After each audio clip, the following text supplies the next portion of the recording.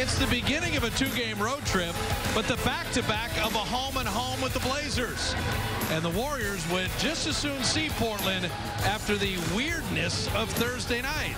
Klay Thompson coming the other way to get the early post, but C.J. right with him. Good position defense. He'll fade and score. So here's that Lillard Nurkic kind of high pick and roll, and Lillard. Transition. That's a tough closeout. And Klay rifles a three. He had Nurkic, who was afraid that he would right. drive by him. Which is above his average. Klay Thompson in the shooter's roll. All five Portland starters have scored. Lillard got to the rim. And Draymond out.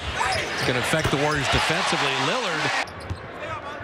Dame off that screen, hesitates, surveys, goes right at Jerebko. Again, contact made, but Dame so good. Of course, pinballing off the contact, lead it in. Looked like a running back.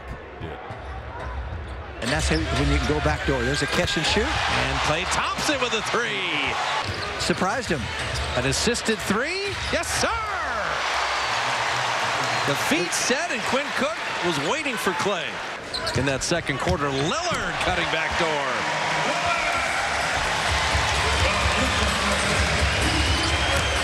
Can't remember many layups they've given up like that. Dame, the flyby from Thompson. Dame shoots a three as he sidesteps. Klay Thompson flying out. Much higher level game from both teams. Yes. We saw Thursday night. It's been a lot more fun to watch. Klay Thompson. He's got a pretty shot again. And he went straight up with that one. He just separated with a little step back. Dame, the crossover behind the back to set up the step back.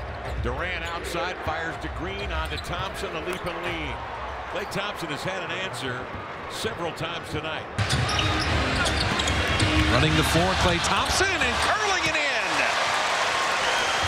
Oh, he's back. Look at Draymond Green playing as a rover, kind of like a free safety defensively. Cannot let up on the gas pedal at, one, at any point against these guys. Can't get distracted.